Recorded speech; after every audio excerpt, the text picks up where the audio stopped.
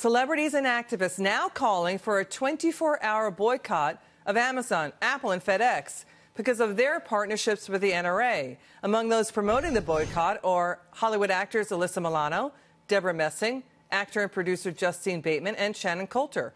Trump 2020 campaign media advisory board member Gina Loudon is here. I gave you a promotion before I said you're the manager. well, I appreciate that. I love promotions right on air like that, Liz. Thank you. So, what are they not getting about average Americans? Well, first of all, a lot of this is astroturfed. Let's not forget that. Yes, you have some stars, but as far as any big movement out there, a lot of that is bots, and I don't ever want to like not mention that.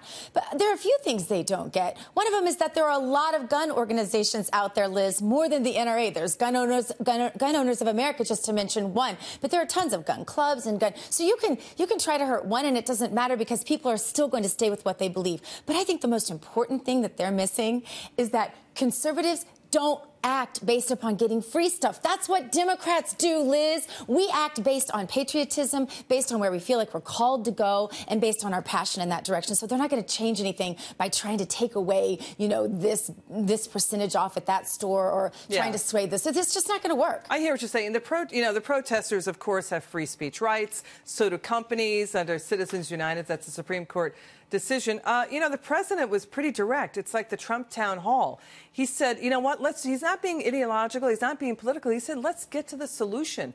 Are the are, is Hollywood acknowledging what the president is saying? He doesn't like assault weapons in the hands of the mentally unstable. He wants better background checks, and the fact that there were so many red flags. Is Hollywood? Do you think Hollywood's zooming hard on the local breakdown? No, I think Hollywood is playing by their same old playbook that lost the last election for them. They are the reason Trump was elected. So, frankly, as someone on his media advisory board, I hope they keep talking, Liz. But um, no, they, they, don't understand, and they don't understand that they they are not trying to come up with solutions. The president has listened. He's been very transparent. He's listened to both sides. He's gone against people that no one ever thought he would go against because including the, NRA, thing, including the NRA, because he's not beholden to them. He's beholden to the people that elected him. He's beholden to his own children and grandchildren in the country he's leaving to them. And I still believe that's why he ran in the first place. So, no, they don't understand. And they don't understand that they can't, they're not going to sway anybody that way. He's looking for solutions. America wants solutions. Listen, there are decent, hardworking, patriotic Americans who